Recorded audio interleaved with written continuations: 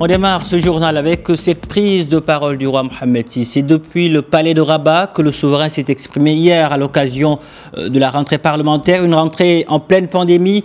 Le roi Mohamed VI, dans son discours, a appelé les élus à plus d'engagement euh, pour limiter les conséquences socio-économiques de cette pandémie. Écoutons cet extrait du discours royal.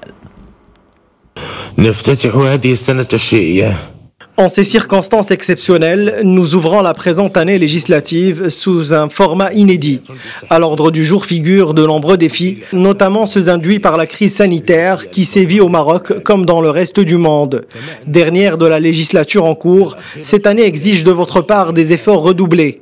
Il s'agira en effet pour vous de mener votre mandat à bonne fin et de dresser le bilan de l'action que vous soumettrez aux électeurs. Comme vous le savez, cette crise présente de persistantes conséquences sanitaires, économiques, sociales et psychologiques. Dans ces conditions, pour préserver la santé et la sécurité des citoyens, il est primordial de faire preuve d'une opiniâtre vigilance et d'un engagement résolu en apportant au secteur sanitaire un soutien indéfectible. Il importe de vrai, concomitamment à la stimulation de l'activité économique et au renforcement de la protection sociale.